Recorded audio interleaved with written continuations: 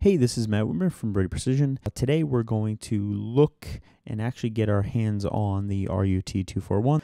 Today we're going to plug it in, we're going to connect to it, and I'm going to give you a quick little tour of RUT OS. In the box, you know, you've got your router. Also, we have a little cardboard piece of paper here with our adapters that we may need for our SIM cards. I'm just going to plug in power and I'm just going to plug into my LAN port and we will get started. All right, so the default IP address on the RUT241 is printed actually on the outside of the case of the router itself, and it is the standard 192.168.1.1. So we're going to use that.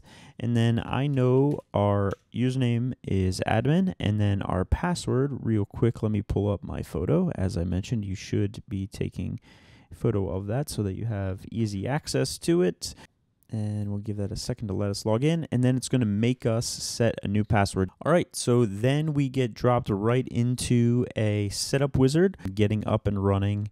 If we want to use RMS remote management system and that's how you're going to get in remote punch in the uh, IP address of the router and you'll get a general idea of exactly what's happening on the router.